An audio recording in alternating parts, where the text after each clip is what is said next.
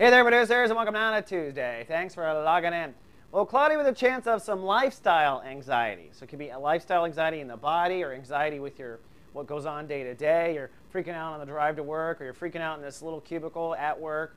The point is is to grow up. The moon is in Libra, so emotional focus is on your daily moment. So your daily moment and your emotions are fused as one for the next couple of days. So this is definitely a time where if you're not taking good care of yourself and your body, it's going to make you emotional. If you've been super emotional, you're not going to feel good in your body. And the moon will cross Saturn in the next 24 hours.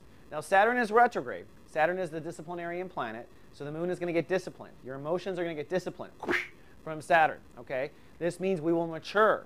This means that probably you're going to have a negative emotional response to something in your daily lifestyle. And you're going to realize that this isn't serving you. Negative emotion creates more negative reality tomorrow. Remember, the present is the pre-sent. It's sent the day before, okay? So if you emo emotionally react poorly to the situation today, you're just going to set yourself up for more gloom and doom tomorrow. Now, this is trining another issue, your career. The Moon-Saturn conjunction is trining the Sun today, which is in Chapter 2 of Sun in Aquarius, and that is showing Uranus breakdown breakthrough energy.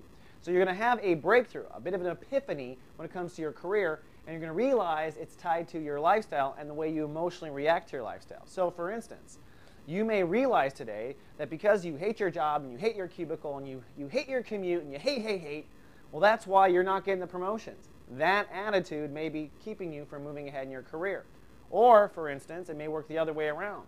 You may have a breakthrough in your career. You're saying, why am I not getting promoted? What's going on? I don't understand why I always get passed up for promotion. That may be the starting point, and then you realize well, you know, all I do is bitch and complain at work all day long.